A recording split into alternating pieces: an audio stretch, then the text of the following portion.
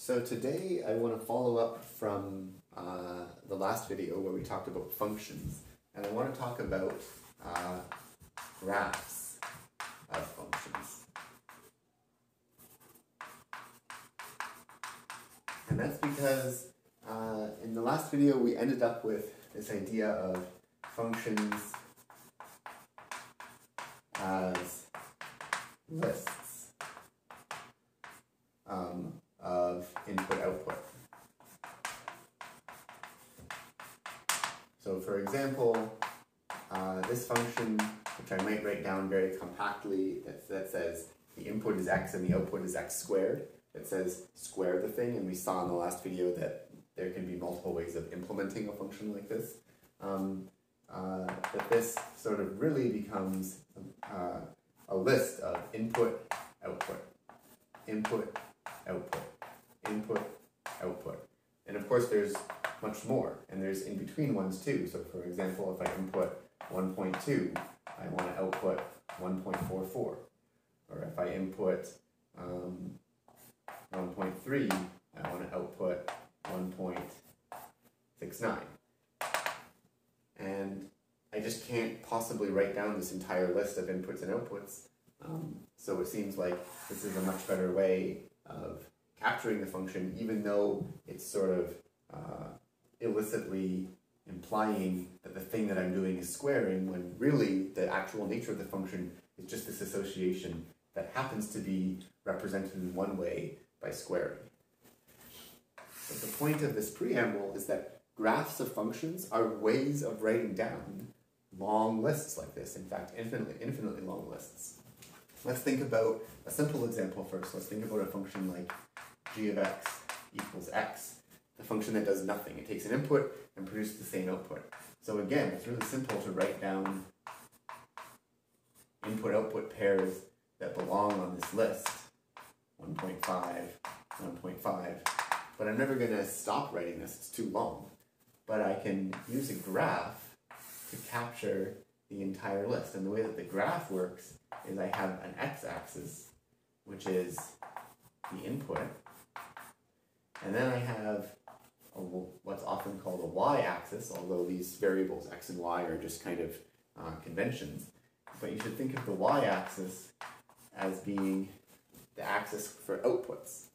So here I have 1, 2, 3, negative 1, negative 2, negative 1, negative 2, 1, 2, 3, labeling the axes.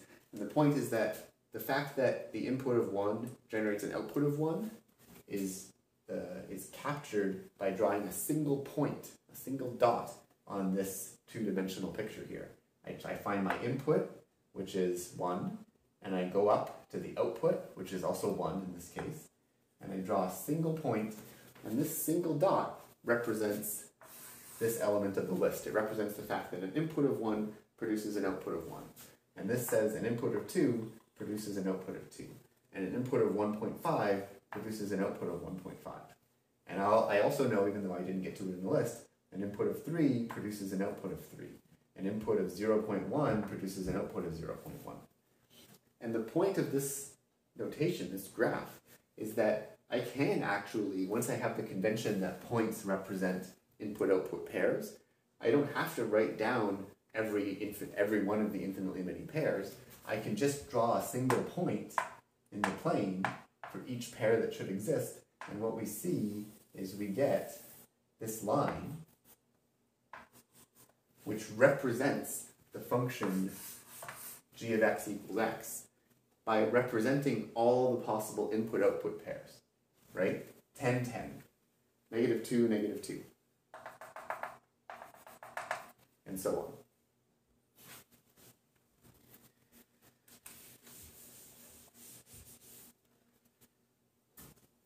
Now this was a very um, simple example, so let's go back to our f of x equals x squared example.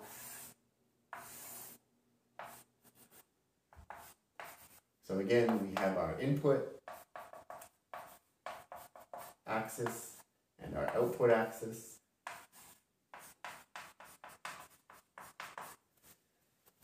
And we know that this function, it's is characterized by its nature is it's a list of input output pairs. For example, when the input is 0, the output is 0. When the input is 1, let me label things a bit.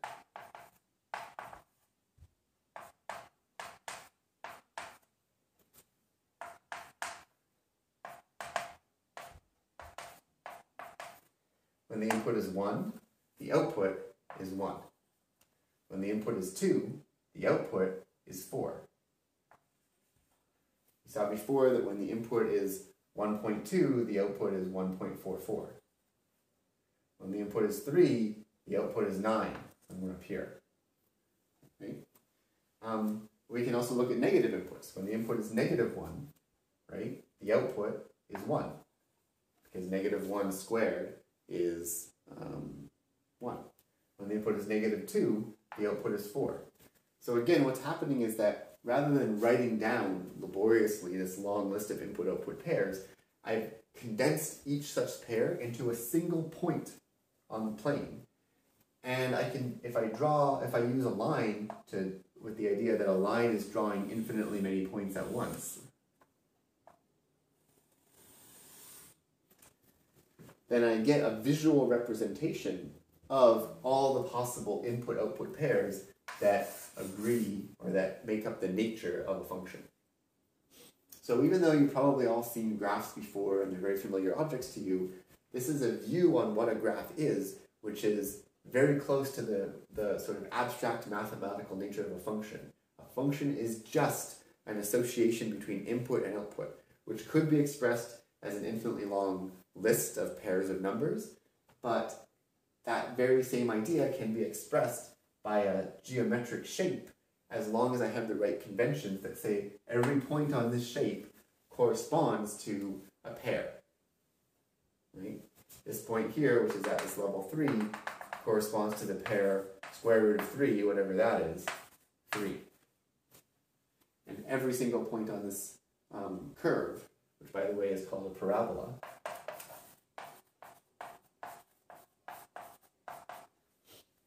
corresponds to one of the input-output pairs of this function. And this is actually one of the most beautiful things in math. Not this specifically, but the idea here is that we went from something which was very uh, clunky, very mechanistic, very just like just a list of input-output pairs, in a sense kind of algebraic.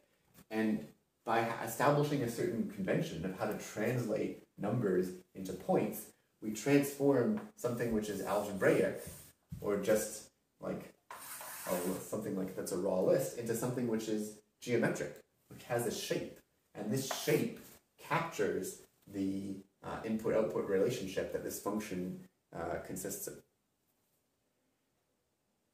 So that was uh, sort of intuition about what a graph is and what, what a graph is doing in mathematics.